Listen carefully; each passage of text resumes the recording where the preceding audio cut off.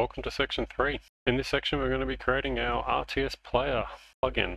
The RTS Player plugin is essentially going to be our RTS Player pawn and we want it to operate as a standalone plugin so we could just drop this plugin on its own into uh, the, any project and have an RTS Player pawn. And by player pawn I mean camera and I'm going to go over what a pawn is in a second but I just wanted to cover what what the actual player RTS player plugin is gonna gonna be. So our player pawn doesn't have visual presence in the world, so it's not gonna have a static mesh or a skeletal mesh or anything like that. It'll have a semi-physical presence in the world, so it uh, it can interact with the terrain as you move around. But mostly it's just camera controls. So you know we want to move and zoom, and it'll have an implementation for selecting RTS units in the game and commanding them, and also it will have a full modifier input, so like shift and all those combinations I'm going to make it with uh, customizable settings.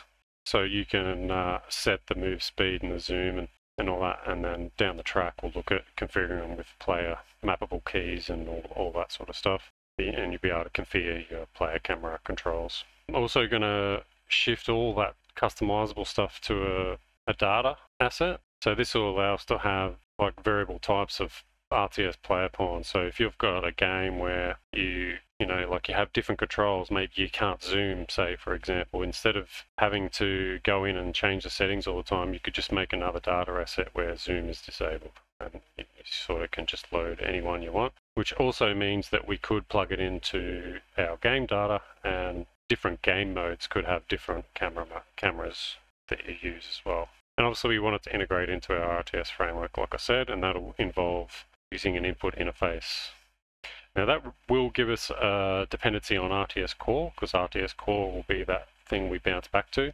So when we want to use our RTS player pawn, we just need core and RTS player. We can drop them in any project and away we go. We've got a player camera that's fully configurable.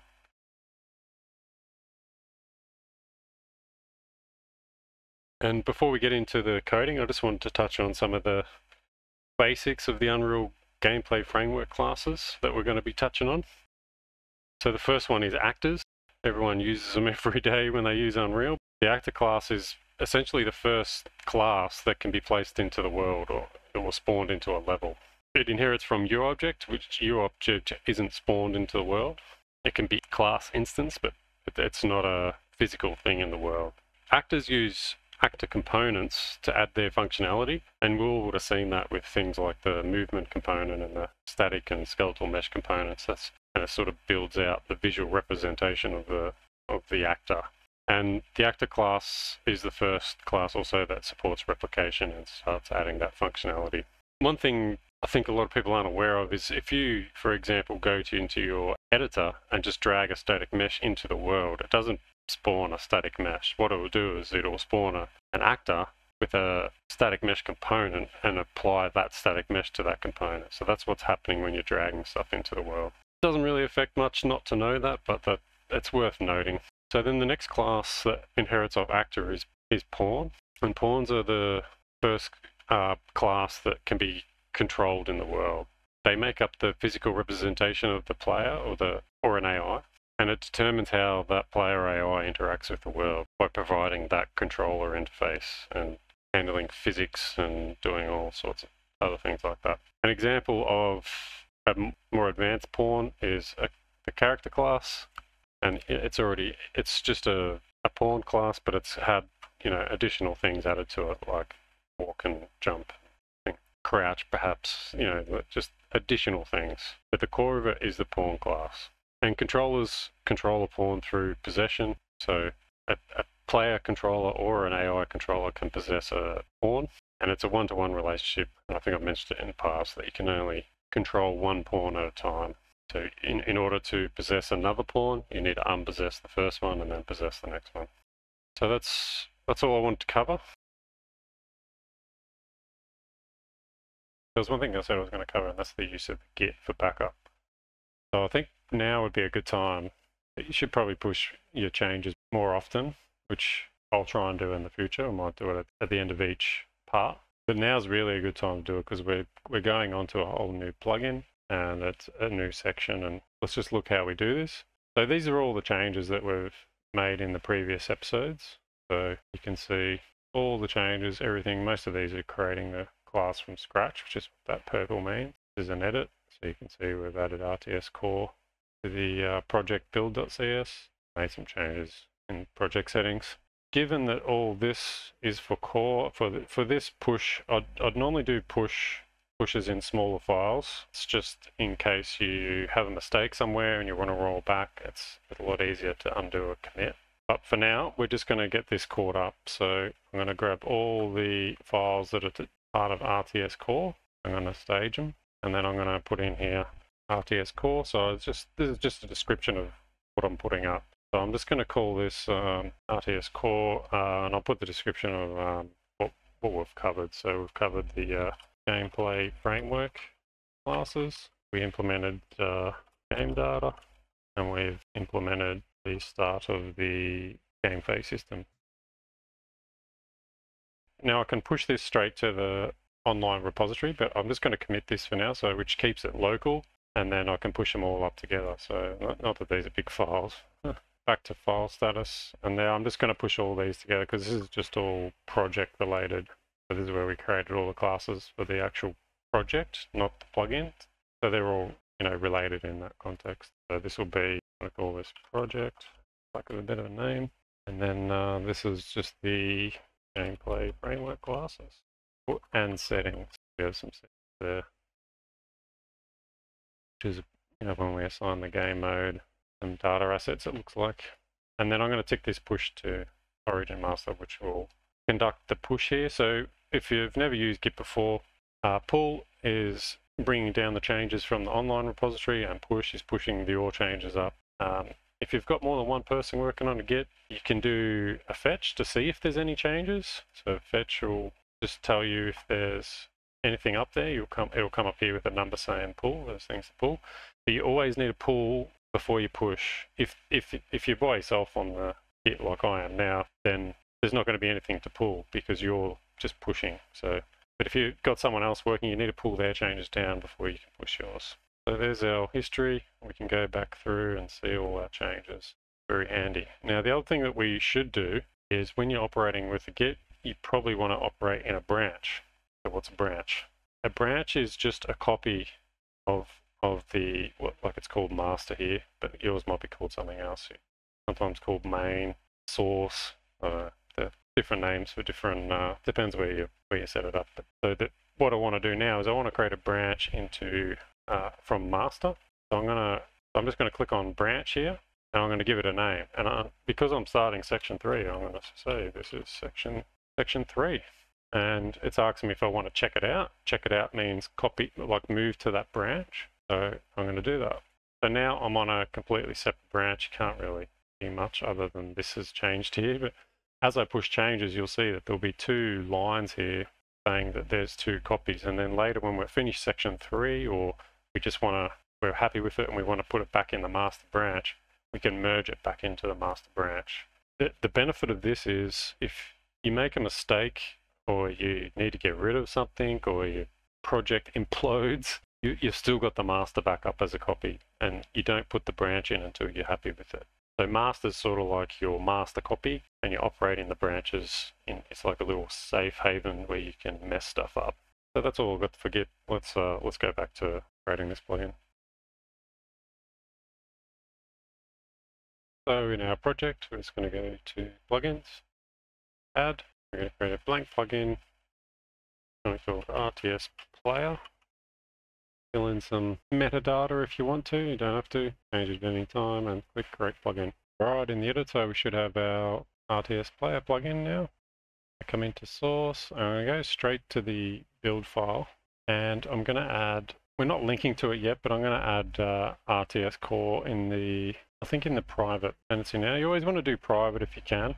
So it'll it'll tell us if it needs to be public later. In the public, we do want to add some some others. I'm, I'm just doing them now so it's all together here. So we're going to need enhanced input because we'll be setting up input controls. So this will give us access to that. And I'm going to add, you know, that'll, that'll do. And we'll just need enhanced input. We'll be setting up controls. That, that should be enough for there for now go to uh, public, we'll add a new class, and it will be RTS player on. Put it into, or choose pawn here, and then we'll put it in framework. Wow. I just want to show you, like, if you have problems with your, your Rider after creating the plugin, to clear the files, you want to delete your SLN, intermediate, and binaries. That's sort of the minimum that you delete, just the clear stuff. If you delete those files, they're just the temporary files that it builds. And then just right click on your U project and click generate Visual Studio project files. I was having issues, so I had to do that. Thought I might as well throw it out. Righto, we're gonna we're gonna need a tick on this. Gonna move that to public. Crap. And then we'll just clean up the CPP file as well.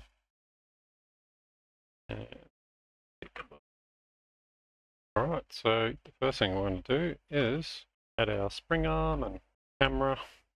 And the first one we, want is a scene component. So it would be a component. Oh, call it. And for our specifiers here in our, or our access, want to be able to look at it in uh, blueprints. So we'll add the uh, blueprint accessible and I need a category. I think my I'll put this into private though and add the allow private access. To be honest, I'm not really sure why they do this with their components, but I've seen Unreal do it, so like I've been doing it under private with the allow private access, so I don't have a good answer for that one. I'm just going to duplicate this one uh, twice. Let's change the component type. So this will be the spring arm. I can spring. Add the forward declaration. Um, will be our camera.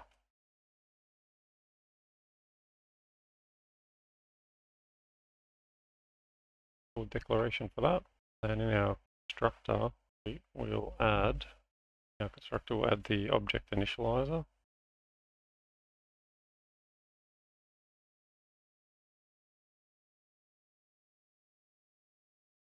And we'll add a primary tick, start with tick enabled, true. And now we want to create our components. So we'll start with our scene component. And we want our scene component to be the root component, so we're just going to set our, this means it's the uh, top level one in the hierarchy.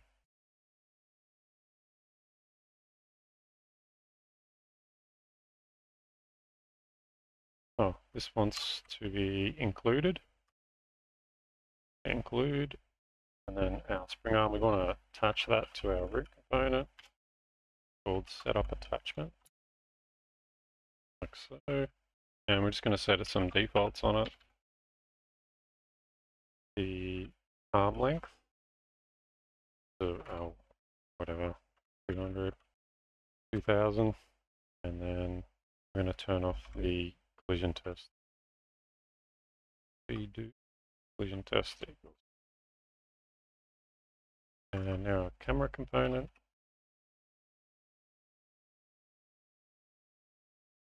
That wants to be included as well up top. And then for our camera component, we're going to do the same here, but we're going to attach it to the spring arm. Here, we're going to add a bool for is initialized, so default it to false.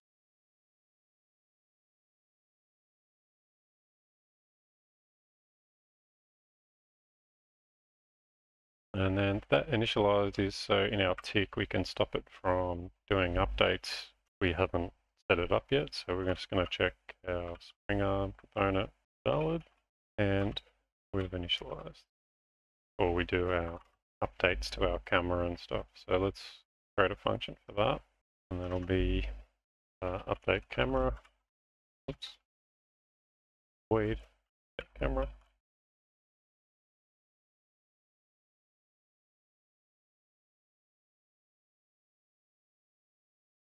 This is where the tick will update the cameras at and inputs and all that. Actually, we'll pass delta time in there. So delta time, that change. So we'll come back to this when we have something to update, but the let's take a look at our player input here. So this is where we'll start binding our keys to functions. So the first thing we're going to do is it's the local player. We don't need to bind keys on uh, the server. And then we need some data here for what keys we're going to use. So we're going to create that now, come into public, and, and we're just going to create standard data asset.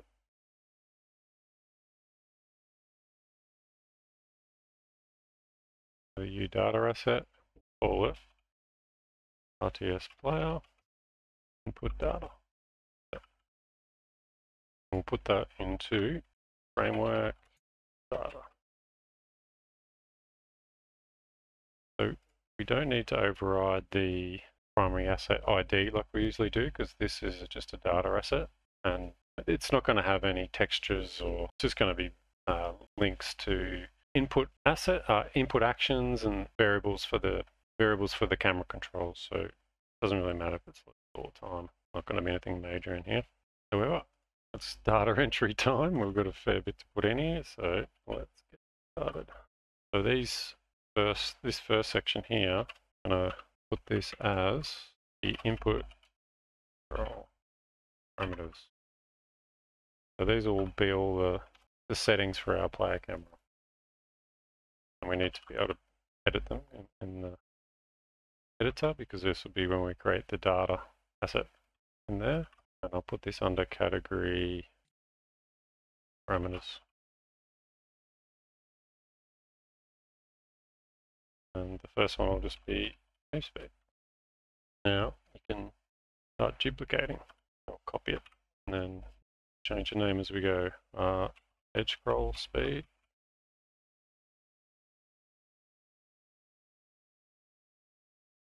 Will be rotate speed. Pitch min. Max. Start zoom. Max zoom. Zoom speed. And right, that should do it for that. And then create a new section here. And we'll call this the in context. It's going to be all our input actions and the mapping context for our controls. Category to context. Make this default. So like by putting the uh, pipe symbol there, which is the one above your enter key, if you press shift and that key, it'll create like a little arrow, like like this, for another section. So here, this is going to be our first link to enhanced input. Uh, if you haven't put that in the build.cs, you won't get links to the classes here.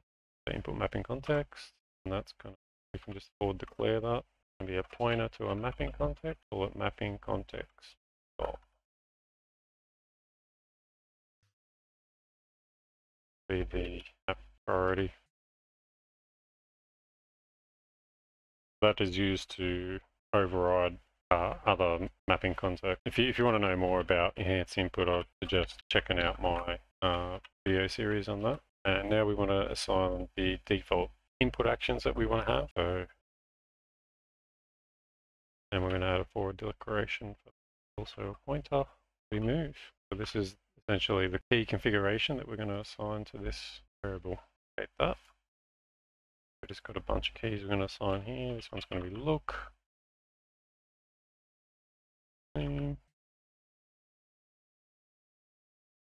Eight. And command is mouse to click sort of when you want to tell a unit to go to a certain location kind of thing. And then create a new modifier key. Copy one of these.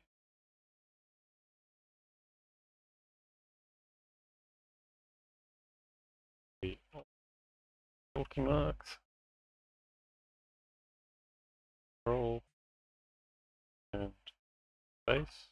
If you've got any other modifier keys that you can think of that you want to include like, you know, tab or something, hold tab and do something. All these keys sort of be used as, you know, keys that you hold and press other keys with. That's what modifier means. We, down the bottom here, we're going to add some templates. So I'm going to put it in a namespace, ERTS player input actions. Sorry, this has to be on the outside of the class in this file. Okay. We're going to create a template. So what's a template? A template is like a template to create a function. So you can specify uh, if you're going to have the same function that has the same layout all the time and kind of does the same thing, then you can specify a template function and, and pass that template to set up the function. So here we're going to have, to show you what I mean, find input. If you haven't watched the enhanced input part, this might be a bit tricky, but the um, I actually cover this as well in that I think. But the inputs essentially have different types that you can bind to. So you can bind to when the input starts, when the input finishes, when it completes, when it triggers. There's all different things you can bind to. So what I'm going to do here is set up different functions to bind different keys to different inputs. So for example, this one we only want to bind to when the input triggers only. We don't care when it completes or we just want to know when it triggers. So this is what this function is going to do. And it's going to take a enhanced input component or input. It's going to take an action. So it's uh, a U action. And then you can see the this these template parameters that we put up here. This allows you to pass in parameters to structure the, the template. So here we can pass in any class. T is just a, a name for whatever we're passing in here. So uh, T is going to be a pointer to the object. And function type will be the actual trigger function. It'll make a lot more sense and very be easy to explain when we start using this. So now we can we can say if the trigger function is not equal to null, because the, the trigger will be a pointer to the function, and we can bind the action. So on our input component, we can bind action. Yeah, it'll be the um, sorry, missed the actual variable name. So that'll be the action we want to bind. And then this is the trigger event. So this is an enum value.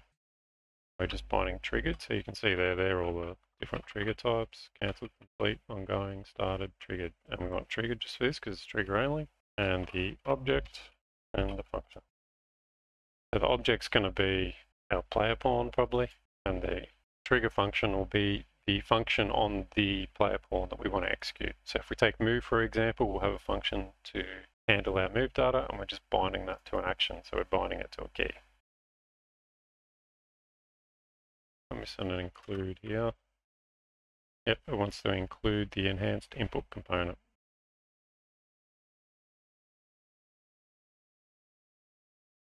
Included input action as well. I'm wondering if we actually need these. Take them out, see if anything cracks it. I think, yeah, I think because we've got enhanced input component in there, it'll have those references. Oh no, it needs a mapping context.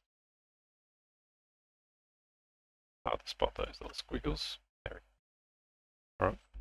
So we want some other templates that we can use. So I'm gonna actually just gonna copy this whole one and uh, change it. So this one, I want to be able to bind the start event and the trigger event and the complete event. Going to have three. So then all we need to do is pass in the three uh, functions that we want to bind to, the, to those different triggers. I'm just going to duplicate this, call this one the start function. The trigger function is good, and this will be the complete function. And then in here, we want to do the, the same thing. We just need to add those other functions. I'm just going to duplicate this as well twice. The middle one can stay the same. It'll be start function complete function. And we just need to change the events. So it'll be started. And then the last one, I'm just going to copy the first one again. I want it for trigger and complete. I'll have two. this. And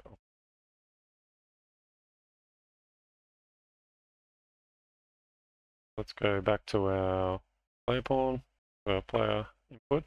Actually, we're going to need to set up uh, variables for our input data. So uh, put them under protected. I'm just going to put a little section here, keep it neat. Uh, call this the input data. And we'll have two variables for this. So we're going to have one which is the data asset itself, and one that be a U data asset. And we'll call this asset. And I think for now we're just going to set this directly on the, when we, once we create a blueprint of this player pawn in the editor, we'll just set the data on here directly. Uh, yeah, late, later on I'll, uh, we might change that, but so we need it to uh, give it uh, blueprint access and we'll just put it to edit defaults only and put category so we can find it. Uh. And then the other one we need is the actual, we just want to have a reference to the, the actual data class. So this, this data class, when it's been passed to the actual data. That's, and for declaration for that. And we'll just call this input data. So now we need to take our input data asset and cast it to this input data and we'll do this in the player input component. So once we know we're local, we'll go, actually we might do a, an assert point here for if we forgot to assign the data in the blueprint. So let's do an ensure, uh, we'll do a message, so it'll print a message to the log like an error and we want to check our data asset valid and if it's not, well then we're just going to put some text, uh, put data asset on RTS layer. Alright, so that's out of the way, and then we can go input data.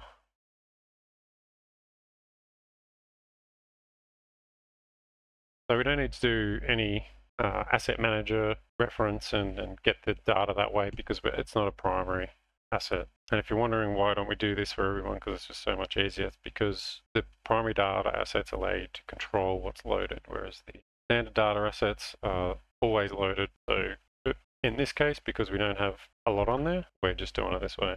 So up there, and, and now we, we can go through to our standard sort of player input setup. So we want to get our enhanced input component So we're casting our player input component that's passed in to enhanced input component and put that in a if statement. So, so sorry, we'll wrap this in, we'll check if our input data is really good, otherwise there's no real point going on.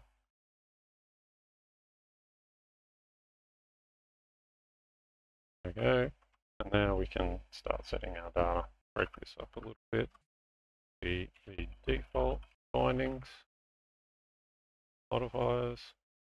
And you can add more keys in here as you go, just the start really. This is where we use our namespace and templates that we are talking about. So ETO player input actions. And then you can see there we've got these uh, function templates. So the first one we're going to bind is move, and we just want it to, to, trigger only. So we don't need to know when our move key is finished or anything. We just, when it triggers, we want to do the, do the function. You can see there from the hint that we have to pass the enhanced input component, which we called input here as well. And then we need our action that we want to bind, and that's what we assigned on our input data. So input data and setting up move here. So move, so that's the action that we're going to pass through. The object is this, the player pawn, and we need to pass a function now that will be executed on that trigger event.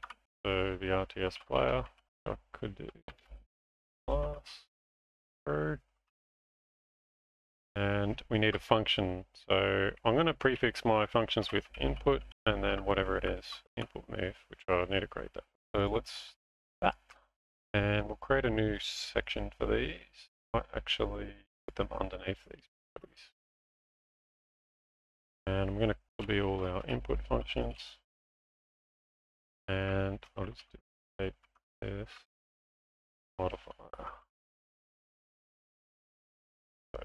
Actually, I might make these virtual so we can, if you wanted to, you can have a child class of RTS player and override specific input. Let's make it virtual. And we set input move, and then with the enhanced input, we want to pass the F input action value.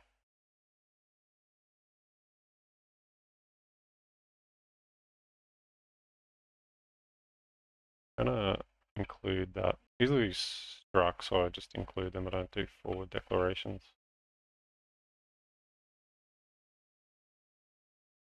we can define that and then that should be oh this is going to want to include as well is it oh, one's a pointer one's not a pointer I've oh, missed a pointer somewhere oh, here. So it must have been on the template really stuff up that action didn't got the variable name and then I forgot the pointer. Stop typing. Right, so come back to here. Now we're good. So that's our first input. We can move, well, when we set up the input actions. All right, so let's let's bulk out our classes here. Create some functions. Look, zoom, rotate. We're going to have three for select and three for command.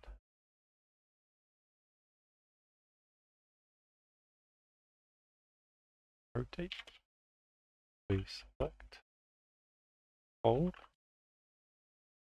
select it.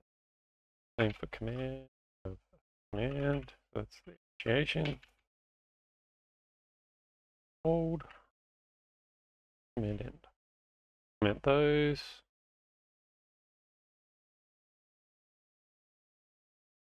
See this one, for our modifier. This will be uh, Alt Control Shift Space.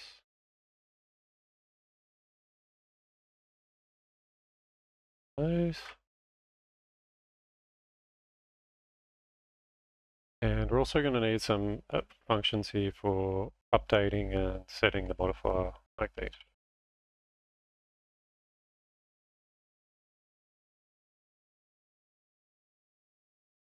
But I think I'm going to leave the, this video here. We've got a lot of functions set up and that's probably a good point to break. In the next video, we'll start implementing all these functions to get the input working.